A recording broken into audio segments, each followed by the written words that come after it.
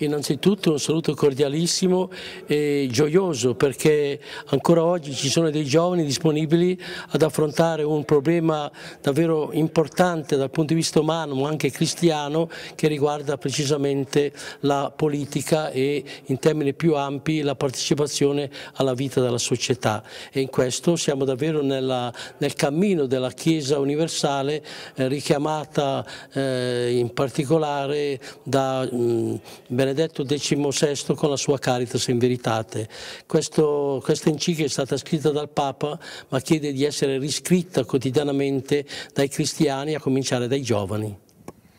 Come si inserisce nel cammino della nostra Chiesa ambrosiana?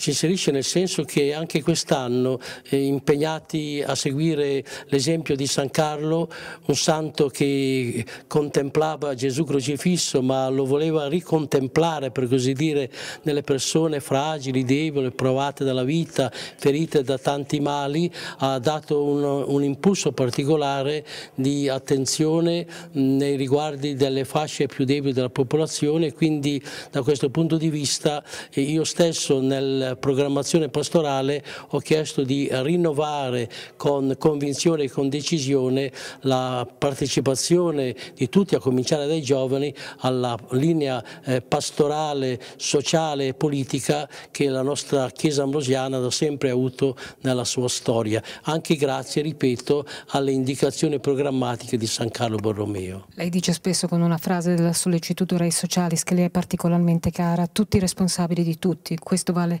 ancora di più per la politica che è la più alta forma di carità, diceva Paolo VI. Non c'è dubbio, tutti responsabili di tutti in ogni ambito, a cominciare dall'ambito forse più faticoso, più difficile, più complesso, che è l'ambito politico. Da questo punto di vista penso che i vescovi italiani ripetutamente si augurano una nuova stagione rinnovata di eh, cristiani cattolici impegnati nella politica stessa